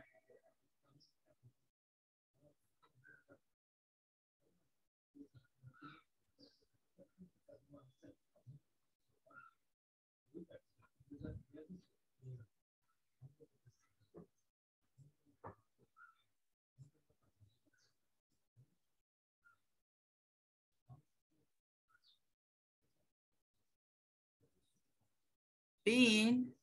ဒီဘေးမှာဒါလေးရေးပေးပါ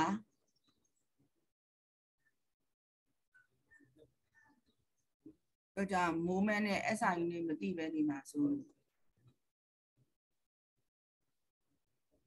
အဲ့ဒါလေးရေးပေးပါ capital N small m မှာ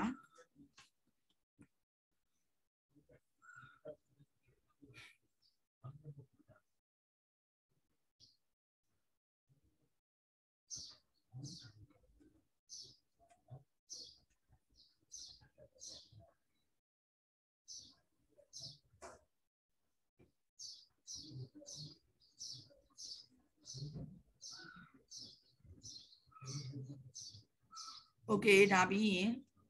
ချက်ဆွဲပြီเนาะအောက်မှာတားစရာရှိသေးလို့ဒီမှာ principle of movement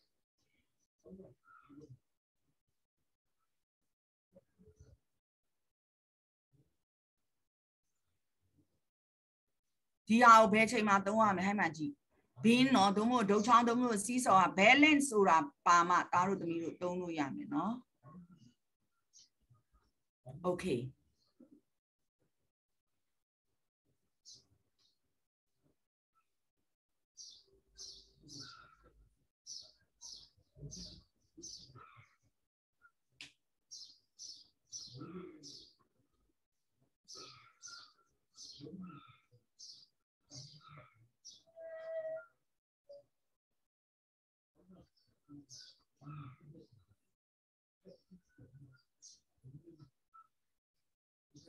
ပြီးပြီထင်တယ်နော်အဲဆို teacher တို့ exercise သွားရအောင် exercise က number 1ကြည့်မယ်သူကဒီမှာ look at the photograph of the တဲ့ children on the seesaw ဒီမှာ seesaw ပေါ်မှာရှိနေတယ်ကလေးနှစ်ယောက်ကိုကြည့်တယ် does the girls weight turn the bean နဲ့ clockwise လား anti clockwise လားဒီကလေးလေးကသူ့ရဲ့ weight ကတဲ့ clockwise အတိုင်းသွားနေလား anti clockwise အတိုင်းသွားနေသလားတဲ့ကဲမေသူတိလေ MH လေသမီးလေးတချို့ပြောပါအဲ့ဒါ clockwise လား anti clockwise လားသမီးလေး clockwise okay အဲ့ဒါဆိုဒီမှာ teacher တစ်ခါတည်းပဲရေးလိုက်တော့မယ်နော်ဟိုဘက်ကမသွားတော့သားတို့သမီးတို့ဒါကူးလိုက်တော့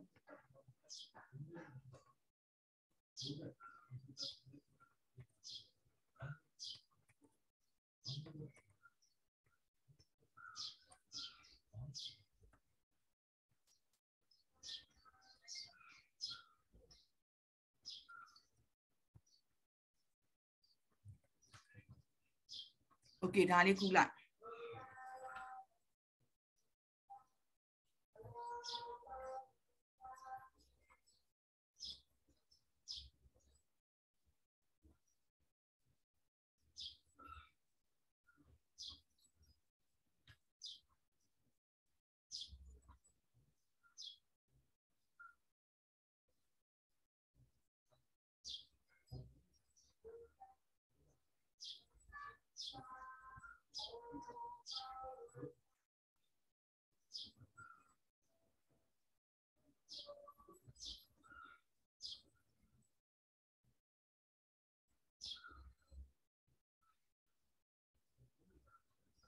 ရပြီလားတားတို့သမီးတို့ ဟုတ်ကဲ့ချေ ဟုတ်ပြီကဲပြီးရင်ဒါလေးကြည့်အောင် number 2ကိုကြည့်အောင် suggest two ways that in which the boy could balance the beam အခု तू က तू က तू weight ကနဲလို့ तू အပေါ်ကိုရောက်နေတာအဲ့တော့ तू ကို तू ကနေပြီးတော့ဒီဒီ beam ကြီးကို balance ပြန်ဖြစ်ဖို့အတွက်ဒီကောင်ဘာလုပ်မလဲတဲ့အဲ့တော့ခုန teacher ပြောတယ်ပေါ်တဲ့အကောင်ကနော်ဘာဖြစ်နေပြီလဲ तू တကယ်လို့ပြန်ပြီး balance ဖြစ်ဖို့ဆိုရင် तू ကအနောက်ကိုဆုပ်ရင်ဆုပ် နော်ဘာလို့ဆိုတော့ဒီကနေဒီဒီအကွာဝေးဝေးွားတယ်ဆိုပိုဝေးလေ तू ကဘာဖြစ်လဲဆိုရင်ဒီမှာပို့ပြီးတော့မိုးမဲ့များလာမှာအဲ့တော့ဒီပေါ်တဲ့အကောင်ကအနောက်ကိုဆုပ်ရင်ဆုပ်မဟုတ်လို့ရှိရင်ဒီကလေးရဲ့ဘက်မှာဘာလုပ်မလဲနောက်ထပ်နော်ဟိုဟိုပြောမလဲ heavy weight တစ်ခုကိုထည့် ဟုတ်ပြီနော်အဲ့လိုမှရမယ်နော် okay နော်ဒါမလုပ်ချင်လဲနောက်တစ်ခုကဘာရသေးလဲဆိုဟိုက်ကောင်မလေးရှေ့တိုးရင်လည်းရတယ်သို့တော့ teacher တို့ကိုဒီမှာသူကမေးထားတာ why ဆိုပြီးတော့ကန့်တက်ပြီးမေးထားတဲ့အတွက်ကြောင့် teacher တို့ကဒီကောင်မလေးနဲ့ဖြေလို့မရတော့ဒီကောင်လေးနဲ့ပဲဖြေရမယ်အဲ့တော့ကောင်လေးဒီပိုဝေးသွားအောင်နောက်ကိုဆုပ်ရင်ဆုပ်မဟုတ်ရင်သူ့ထဲထဲမှာနောက်ထပ် heavy weight တွေထပ်ထည့်ရင်ထည့်เนาะ okay เนาะအဲ့ဒါကိုရေးရတော့မယ်အဲ့တော့အခု number 2ကိုရေးပေးမယ်တားတို့သမီးတို့ number 2ကိုဒီနားလေးမှာရေးမယ် ဒီနေ့ number 2ကိုအောက်မှာရေးရင်ရတယ်เนาะဒီမှာရေးမယ်ဆိုတော့ the boy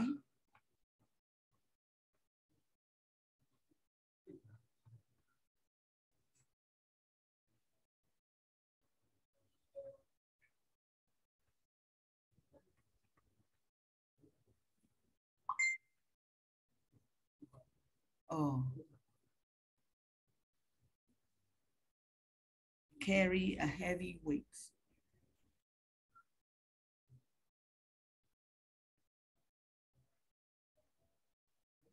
ဒါလေးကိုရေးလိုက်တားတို့သမီးတို့အဲ့ဒါ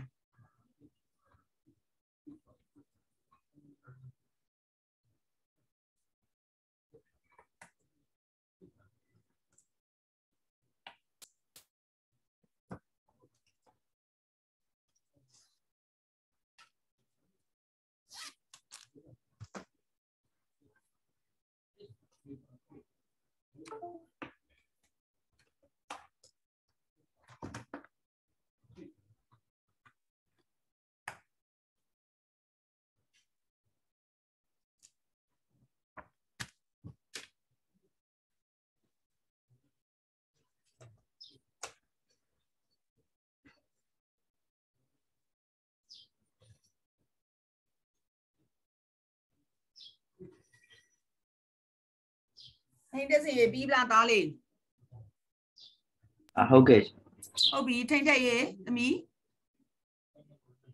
လို့တီချာဟုတ်ပြီးပါပြီချင်ဟုတ်ပြီသမီးလေးအာကာသားလေး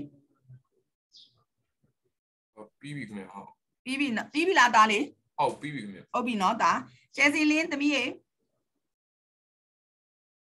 ပြီးပါပြီတီချာဟုတ်ပြီကြည်စင်တန်သမီးလေးဖိုက်တယ်ဟုတ်ပြီ MHK သမီး ဟုတ်ပြီပါ